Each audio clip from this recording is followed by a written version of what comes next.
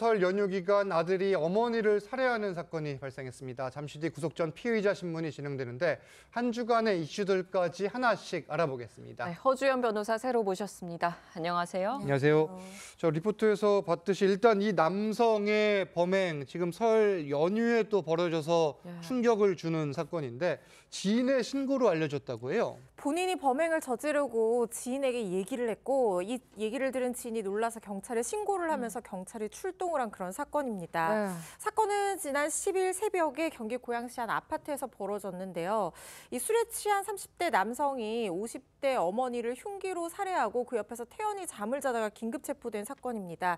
사건 발생 전날 밤 지인과 같이 술을 마신 뒤에 귀가를 했고 이 귀가 과정 중에 편의점에 들러서 전자담배를 피우면서 술을 더 사는 그런 CCTV까지 확보가 된 어. 상태이고요. 그래서 아마 집에서 술을 더 마신 걸로 추정이 되는 상황입니다. 그래서 이 집에서 뭔가 모종의 어떤 과정을 거쳐서 어머니를 흉기로 살해를 했는데 문제는 이렇게 살해하는 범행을 저지르고 예. 자기 지인한테 얘기를 하고 아, 자기는 정작 어머니의 시신 옆에서 그대로 태연하게 잠이 들어 있었다는 거예요. 경찰이 긴급 체포를 한 상황이고요. 지금 존속살해 혐의로 구속영장이 청구된 상황입니다. 네, 오늘 오후 4시부터 이 남성에 대한 영장 실질 심사가 진행되는데 구속 여부는 어떻게 전망하십니까? 구속될 가능성 상당히 높다고 봅니다. 일단 어머니를 살해했다니 존속 살해죄 이 범죄 자체가 굉장히 중대하고요. 그리고 지금 이 사람이 동정정과는 아니지만 음주 관련한 혐의로 복역을 하다 출소한 지 불과 한 달 만에 이런 범행을 저질렀습니다. 네, 네. 이번 범행도 술을 마시고 이런 행위를 했잖아요. 뭔가 음주와 관련해서 이런 폭력적인 상황들이 이어지고 있는 상황이기 때문에 뭔가 음주하게 되면은 뭔가 정상적이지 않은 선택을 하는 그런 어떤 재범의 가능성 이런 우려가 높은 상황으로 보여서 구속 가능성 상당히 높다고 전망을 하고 있습니다. 앞으로 이제 수사가 좀 더 진행이 돼봐야 알겠지만 일단 이 아들 어떤 처벌을 받게 될까요? 존속 살해죄는 일반 살해죄보다 더 가중 처벌됩니다. 이 사형 무기 또는 7년 이상의 징역형 법정형으로 규정을 하고 있는데요. 이 사건 같은 경우에는 어머니를 살해하게 된 동기와 경위가 어떠한지에 따라서 형량이 굉장히 결정될 것이라는 생각이 듭니다. 일단 우발적인 어떤 살인인지 아니면 계획을 한 것인지 이런 것도 문제가 되고 범행 도구를 준비를 했는지 아니면 뭐 중간 과정에 다툼이 예. 있었는지 이런 자세한 어떤 범행 경위에 따라서 최종적인 형량이 결정될 것으로 보입니다. 지금 보면은 이 긴급 체포 이후에도 만취 상태로 정신을 차리지 못한 걸로 알려져 있는데 네. 이게 술을 마신 행위 이게 시점이 언제인지에 따라 아니면 술을 마신 행위가 있은 뒤에 이 범행이 이루어졌는지 여부도 앞으로 형량에 영향을 미칠 수 있습니까? 중요한 부분이 될 수 있는 예. 것이요. 만약에 미리 계획을 하고 그 범행이 두려워서 이렇게 만취 상태를 스스로 야기했다라고 하면 이거는 심신미약으로 감형받을 수가 없습니다. 예. 그렇지만 술을 마신 상태에서 이 범행 당시의 사리 분별을 어떤 이 법적인 판단뿐만 아니라 일반적인 경험칙상 사리 분별 자체를 할 수 없는 상황에서 이런 범행을 저질렀다고 하면 심신미약을 주장할 가능성도 있어 보입니다. 그럴 가능성도 있는데 앞으로 수사 상황은 좀 더 지켜봐야겠네요. 다음 소식으로 가보겠습니다. 이설 연휴 첫날 가족과 함께 성묘에 나섰다가 실종된 치매 노인분이 있었는데 이분이 극적으로 구조됐어요. 정말 극적이었던 게요. 산 예. 위에 녹지 않은 눈에 발자국을 보고 이분이 다행히 몸이 상하기 전에 그냥 저체온증 상태에 있을 때 구조를 했다고 합니다. 예. 설날 전날이었죠. 9일 오전 아, 10시 40분쯤 모란공원 여기 이제 추모공원인데요. 여기서 60대 여, 80대 여성의 이 실종 신고가 접수가 됐는데 이분이 치매 노인이라는 겁니다.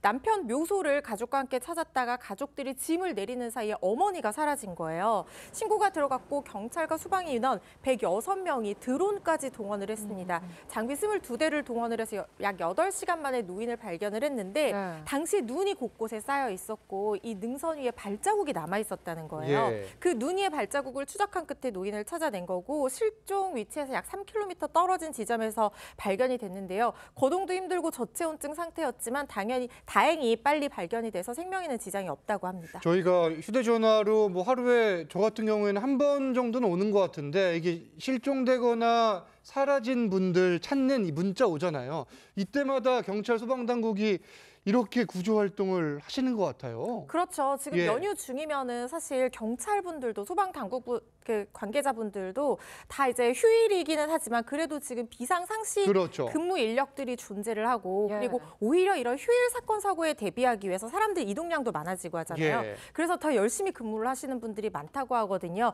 이런 신고를 보면은 우리 시민들도 또 협조를 해서 적극적으로 도와주 도와주시면 이 소방관분들이나 이 경찰들이 실종자를 찾는 데 훨씬 도움이 될 것 같다는 생각 이 듭니다. 맞습니다. 네, 그런가 하면 춘천에서는 한 남성이 명절에 고생하는 경찰관들의 밥값을 내주고 또 사라졌다고 해요. 네, 명절에 고생하는 경찰관분들, 소방관분들 얘기를 나눴는데 예. 실제로 춘천 경찰서 교통관리계 직원 두 명이요.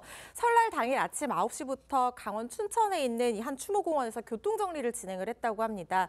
어, 이 성묘객들이 오전부터 몰리기 시작하잖아요. 차례 모시러. 그래서 아침 9시부터 3시간 반 넘게 계속 이렇게 정리를 하다 보니까 네네. 식사 때를 놓친 거예요. 그래서 늦은 점심 식사를 하러 주변에 이 식당에 가서 해장국집을 갔는데 갑자기 식당 사장이 다가와서 뒤에 계신 손님이 설날에도 우리 경찰관 분들 고생하시는데 예. 따뜻한 밥 한 끼 대접해드리고 싶다라고 하면서 계산을 했다고 합니다. 어.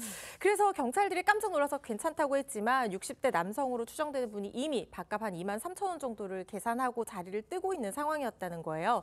얼른 가서 그 60대 남성에게 묵례를 하면서 감사 인사를 전했다고 하는데 안중우 경장이 직업 특성상 이 시민분들에게 아무것도 원래 받지 않는 것이 원칙이지만 예. 네. 밥값을 내주셔서 너무 놀랐고 앞으로 더 지역 수- 주민들을 위해서 노력하겠다라는 소감을 전하기도 했습니다. 이게 뭐 당연하다고도 생각할 수 있겠지만 사회에 헌신하는 분들에 대해서 이제 개인적인 보답, 감사의 의미를 담은 걸로 보이는데 누리꾼들 반응은 어떻습니까? 폭발적이죠. 아, 예. 정말 훈훈하다. 이렇게 명절에 되면은 오히려 경찰관분들, 소방관분들 정말 내 일처럼 우리 시민들을 편안한 연휴를 보내게 하기 위해서 노력을 하고 있는데 그렇죠. 네. 사실 그런데 우리 명절에 이런 분들 뵈도 마음속으로 고맙다고 하지 선뜻 밥값을 내준다거나 따뜻한 감사 인사 전하기 좀 부끄럽기도 하고 그래서 맞아요. 뭔가 표현하기는 좀 쉽지 않잖아요. 그런데 식당에서 이렇게 밥값 내주신 그분도 참 너무 잘하신 일이다. 이렇게 기분 좋다라는 반응이 대다수였습니다. 알겠습니다. 자, 예. 허지원 변호사는 여기서 인사 나누겠습니다. 감사합니다. 감사합니다.